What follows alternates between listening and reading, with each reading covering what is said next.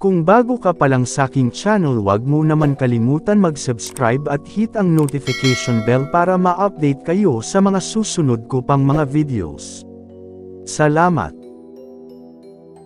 Narito ang siyam na lumang mahahalagang barya ng Pilipinas na malaki ang halaga mula 1947 hanggang 1960.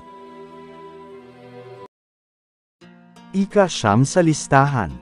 Philippines 1960, 5 centavos.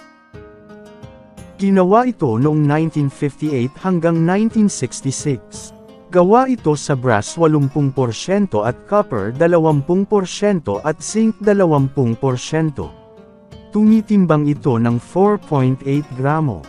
At nagkakahalaga ng napakamahal na 3,500 pesos o higit pa depende sa kalidad nito.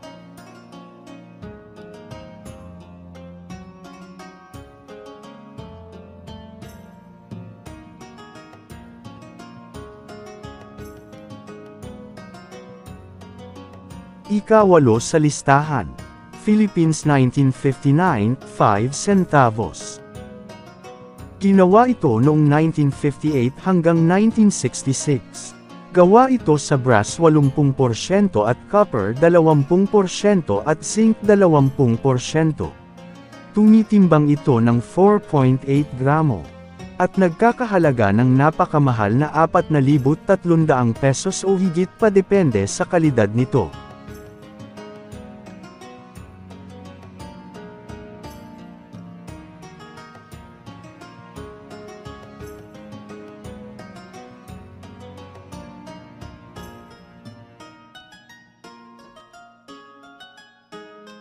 Ikapito sa listahan. Philippines 1944, 5 centavos. Ginawa ito noong 1944 hanggang 1945. Gawa ito sa silver .750 at copper .250. Tumitimbang ito ng 10 gramo. At nagkakahalaga ng napakamahal na 8,100 pesos o higit pa depende sa kalidad nito.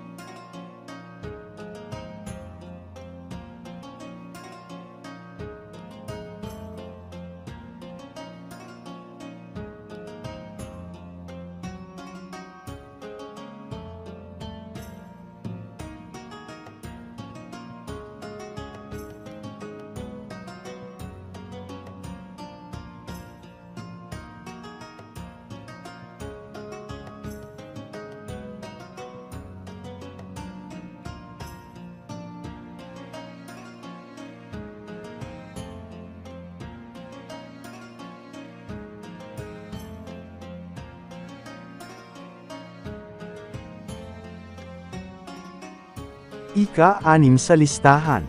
Philippines 1958, 10 centavos. Ginawa ito noong 1958 hanggang 1966. Gawa ito sa nickel brass at copper 70% at zinc 18% at nickel 12%. Tumitimbang ito ng 2 gramo at nagkakahalaga ng napakamahal na 10,894.48 pesos o higit pa depende sa kalidad nito.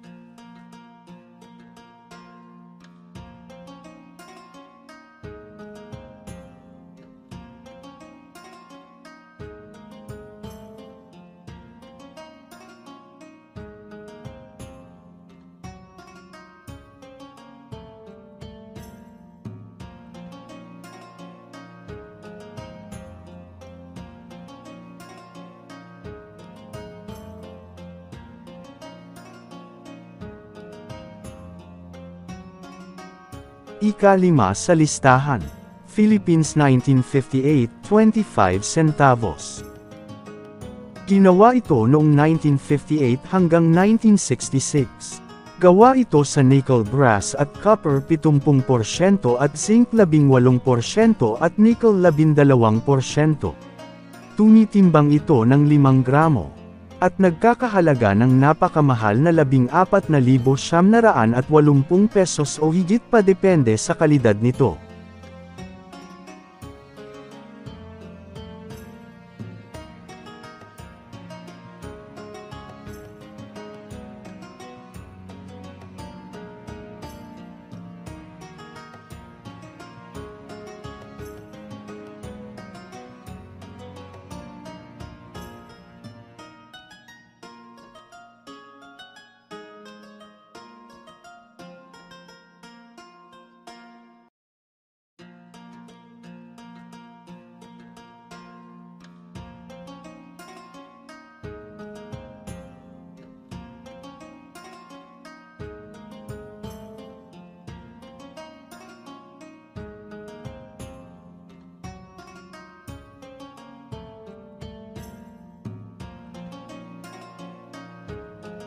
Ika-apat sa listahan. Philippines 1958, 50 centavos. Ginawa ito noong 1958 hanggang 1964. Gawa ito sa nickel brass at copper 70% at copper at zinc 12% at nickel 12%. Tumitimbang ito ng 10 gramo. At nagkakahalaga ng napakamahal na 15,178 pesos o higit pa depende sa kalidad nito.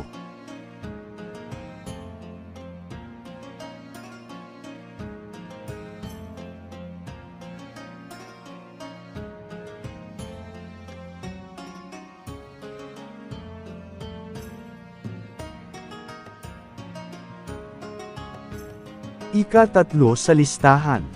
Philippines 1947, 50 centavos MacArthur. Ginawa ito noong 1947.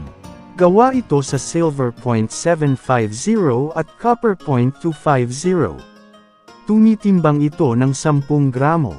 At nagkakahalaga ng napakamahal na 162,000 pesos o higit pa depende sa kalidad nito.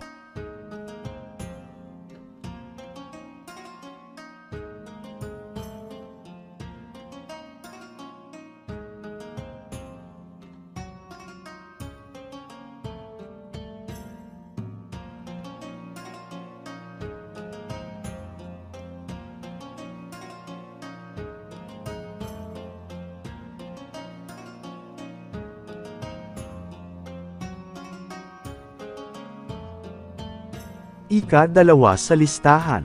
Philippines 1944, S1 centavos coin. Ginawa ito noong 1937 hanggang 1944. Gawa ito sa brass at copper 75% at zinc 5%. Tumitimbang ito ng 5.3 gramo. At nagkakahalaga ng napakamahal na 270,000 pesos o higit pa depende sa kalidad nito.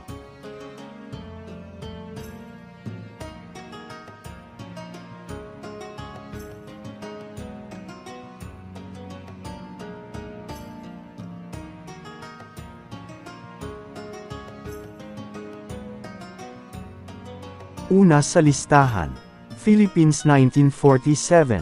S1 Peso Douglas MacArthur. Gawa ito noong 1947. Gawa ito sa silver .900 at copper .100. Tumitimbang ito ng 20 gramo. At nagkakahalaga ng napakamahal na 385,000 pesos o higit pa depende sa kalidad nito.